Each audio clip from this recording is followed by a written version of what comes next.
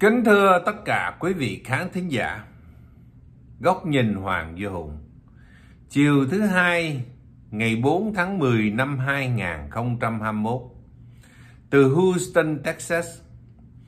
Thưa quý vị, trong khi lên đên trên biển cả ở siêu du thuyền, tôi và ông Nam Sơn Nguyễn Tấn Trí cũng nói chuyện khá nhiều về thời sự. Ông Nam Sơn Nguyễn Tấn Trí có hỏi tôi là liệu Trung Quốc có dùng vũ lực để thống nhất Đài Loan hay không? Và liệu Bộ Tứ Kim Cương có gài độ để cho Trung Quốc đánh Đài Loan thì cả thế giới bu vào đánh Trung Quốc hay không? Ván cờ của Đài Loan là như thế nào?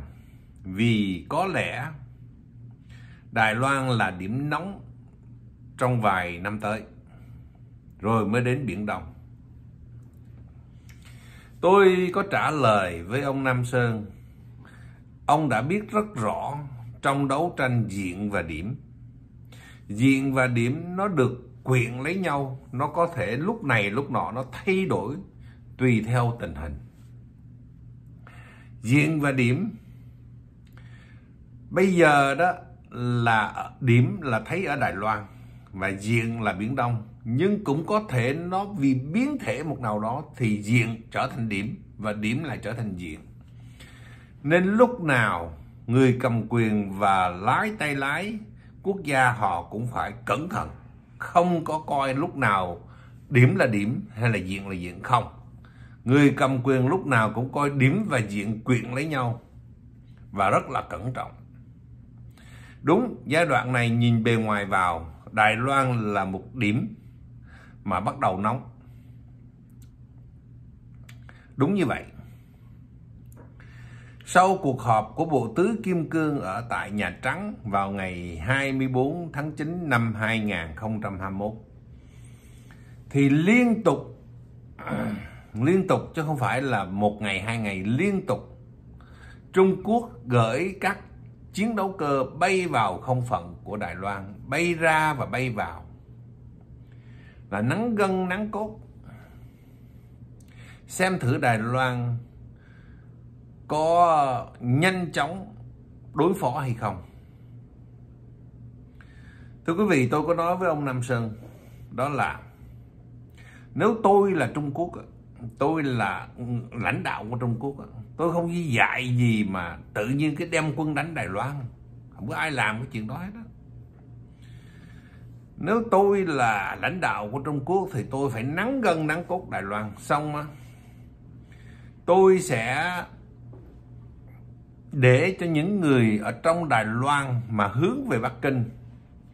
Thí dụ như một số những người Trung Hoa của dân đảng người Phúc Kiến mà họ có khuynh hướng là muốn thống nhất với với uh, Trung Quốc thì những người đó, đó sẽ có những cái cuộc biểu tình đòi hỏi cuộc thống nhất với Trung Quốc. Nó gây ra một cái sự căng thẳng đến lúc nào đó đó mà bà Thái Anh Văn hoặc là đảng Dân Tiến á, là đang áp họ đó thì họ cầu cứu với Bắc Kinh. Thì Bắc Kinh cũng sẽ có một cái thái độ. Thái độ đó là rất là cẩn trọng. Nếu tôi là lãnh đạo của Bắc Kinh tôi sẽ nói là chứ chuyện của Đài Loan hãy để cho Đài Loan giải quyết đi bề ngoài thì sẽ nói vậy, nhưng mà bề trong thì cứ kích động cho những người mà ủng hộ khuynh hướng thống nhất với Trung Quốc là cứ phải biểu tình và biểu tình và biểu tình. Trong khi đó thì cứ cử các chiếc máy bay và các hải quân của Trung Quốc cứ lởn vởn ở bên gần tới cái ờ, không phận hoặc là hải phận của Đài Loan. Làm cho Đài Loan lúc nào cũng bị căng lên như vậy và quốc tế cũng không có làm gì được hết là tại vì cứ lỡn vỡn vậy thôi. À, lỡn vỡn vậy thôi. Nhưng rồi một lúc nào đó Đài Loan chịu không nổi và quốc tế không có đề phòng lẻ đó thì uh, nhanh chóng trong một hai ngày thôi là dùng vũ lực chiếm lấy Đài Loan. Nếu tôi nếu nếu là tôi đó tôi nói với ông Nam Sơn như vậy. Vì như vậy đó không cho thế giới có cơ hội đánh hội đồng. Không cho thế giới cơ hội đánh hội đồng. Thế giới thì rất là đoàn kết với nhau trước khi có chiến tranh. Là nếu mà cứ để mà gọi là mà nói là bày tỏ thống nhất Đài Loan bằng vũ lực á, thì thế giới sẽ đoàn kết với nhau. Nhưng mà cứ nói rằng là do chính người dân ở trong Đài Loan đòi thống nhất thì cứ để như vậy đi. Không có đánh nắng gân, nắng cốt. Làm cho thế giới chưa có trở tay kịp thì một ngày thôi. Hay là một vài ba ngày thôi, nhanh chóng chiếm lấy Đài Loan. Từ ở trong nội bộ lấy ra. Chiếm lấy từ ở trong nội bộ lấy ra chứ không phải là là đánh vào. Thì thế giới không trở tay kịp và cũng không có cơ hội để thống nhất lại mà đánh hội đồng Trung Quốc đó là cách làm của tôi. Tôi nói với ông Nam Sơn như vậy. Nếu tôi nếu tôi là là ông Tập Cận Bình thì tôi làm cái chiêu đó. Thì ông Nam Sơn ông suy nghĩ ông bảo là chứ ừ cũng có lý. Cái cách đó cũng là một cách mà khó mà thế giới đoàn kết mà chống lại Trung Quốc ngay. À, phải tạo một cái thế là de facto sự kiện đã rồi. Nó gần giống như là nước Nga tạo một cái thế de facto ở tại Crimea vào năm 2014 vì trên ờ, lịch sử Đài Loan là một phần đất của Trung Quốc. Nó cũng như trên lịch sử Crimea là một phần đất của của nước Nga. Thế giới khó mà phản ứng kịp. Thì tôi nói như vậy.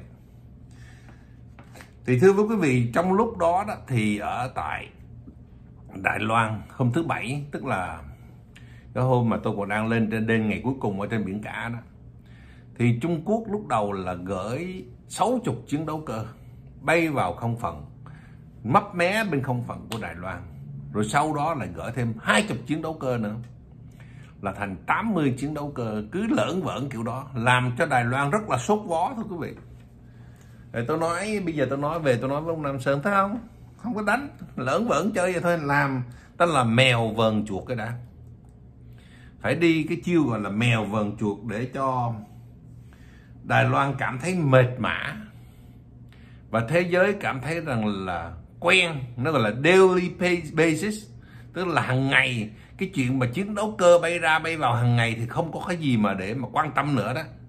Thì khi mà cần thì Trung Quốc cái bụp nhanh chóng. Tạo cho một cái sự mất cảnh giác vậy thì từ này về sau Trung Quốc cứ bay ra, bay vào kiểu đó mà Đài Loan cũng không dám bắn. Không dám bắn thì sao? Tạo cho một cái cảm giác là bình thường, daily basis, bình thường hóa sự kiện. Người dân Đài Loan các cái người lãnh đạo mà ở bên đảng đối lập họ căng thẳng. Và đó, là thế giới thấy nó bình thường thì nay mai thí dụ như vậy có một lúc nào đó mà Trung Quốc quyết tâm là các chiến đấu cơ bỏ bom liền và những người ở dưới nổi dậy, người mà người Trung Quốc đã sắp đặt ở tại Đài Loan rồi đó, thì sao? Trở tay không kịp. Hải quân rồi gì đó, có một cái sự phối hợp nhịp nhàng, thì có thể chiếm lấy Đài Loan nhanh chóng. Đây là một cái scenario, tức là một cái bối cảnh đang diễn ra. Và nó giống như những gì mà tôi có nói với ông Nam Sơn thì uh, bên phía Đài Loan thưa quý vị ông bộ trưởng uh, ông bộ trưởng uh, ông thủ tướng chứ ông thủ tướng của Đài Loan là ông Su Sang Chang sáng ngày thứ bảy có trả lời cho đài Reuters của nước Anh. Như sau là China has been wantonly engaged in military aggression damaging regional peace tức là Trung Quốc là cố tình cố tình cái cách gọi là hung hăng. À, trong vấn đề mà tấn công về quân sự làm cho hòa bình của khu vực bị thiệt hại. Tại khu vực đây là tức là Đài Loan và và và Trung Quốc Đài Loan và cái khu vực biển Hoa Đông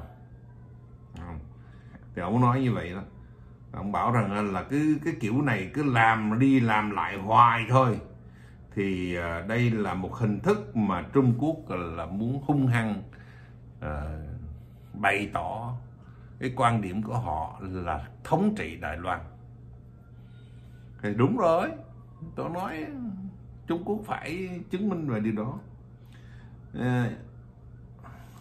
Trung Quốc là muốn làm chuyện đó thì bên uh, họ có nói rằng à, là cứ ra cứ ra vào như vậy thì sao? Đài Loan có dám bắn hay không? Đài Loan có dám bắn uh, máy bay Trung Quốc không? Đâu dám. Đài Loan không dám thì sao? Thì cái vấn đề đó nó được gặm nhấm.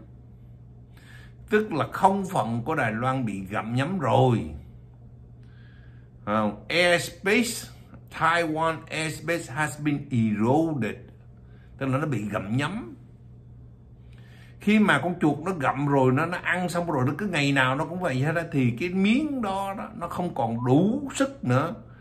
Nó không còn đủ sức hấp dẫn để tự tự vệ. Cái cách làm này là cách làm của Trung Quốc đang đối đầu với Đài Loan. Không cần đánh nhưng mà chỉ cần gặm nhấm. Gặm nhấm về không phận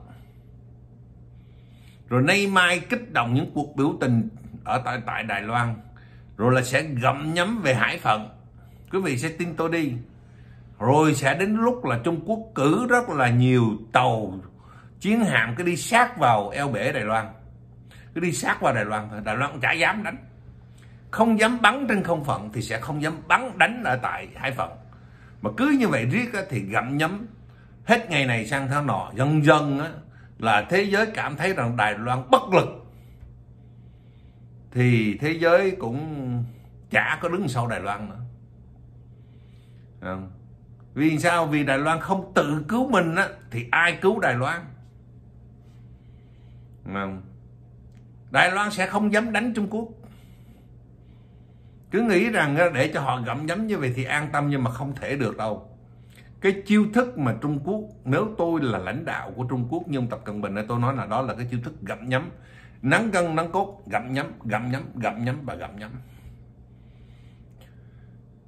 Cho đến khi mà một lúc nào đó, đó những người Trung Hoa Quốc dân đảng hay là những người mà ở trong Đài Loan muốn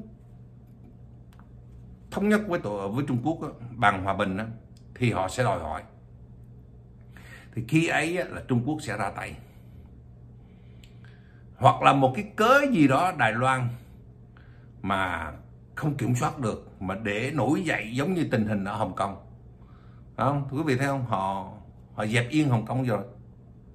Vì những cái sự đầu óc ngu dốt giống như là của Hoàng Chí Phong ông lãnh đạo cuộc biểu tình cả à, mấy triệu người mà không chỉ biết biết cách gọi là điều đình nghĩ rằng là mình chiến thắng tới nơi rồi, muốn tấn công luôn, muốn đòi độc lập, thì luật an ninh mạng ra, luật an ninh của quốc gia ra cho Hồng Kông.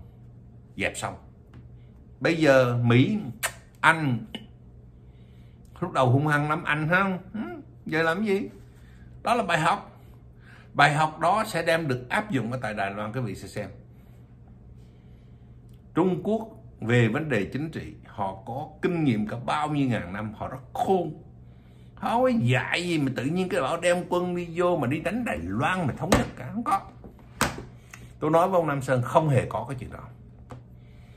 Trung Quốc sẽ không bao giờ tự nhiên đem quân vô đánh để lấy Đài Loan mà thống nhất bằng vũ lực. Chỉ tạo một cái cớ cho cả thế giới bề hồ đồng mà thôi. Bộ Tứ Kim Cương có họp cái gì đó tại tòa Nhà Trắng mưu đồ như thế nào thì kệ Bộ Tứ. Còn lãnh đạo của Trung Quốc họ kinh nghiệm, họ biết, họ biết cách, họ biết cách họ đối phó. Kinh nghiệm của họ từ thời Xuân Thu Chiến Quốc, các cường các quốc gia nơi đó đấu đá lẫn nhau họ khôn lắm. Rồi kinh nghiệm của biết bao nhiêu trận chiến, giống như là thời Tam Quốc rồi gì, để lại, họ không có dạy gì, họ đem quân vô, họ chiếm lấy Đài Loan bây giờ. Họ sẽ tạo một cái cớ.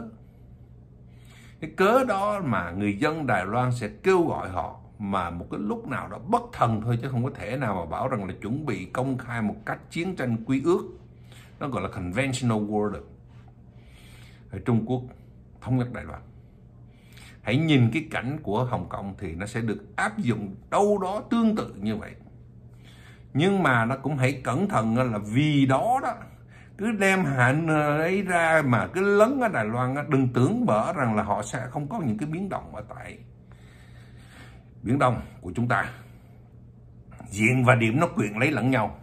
Vì sau Đài Loan là sẽ là Biển Đông, hoặc là trong lúc với Đài Loan là Biển Đông sau hoặc trong hoặc trước gì đó, nó rất là tích tắc. Phải cẩn thận vô cùng.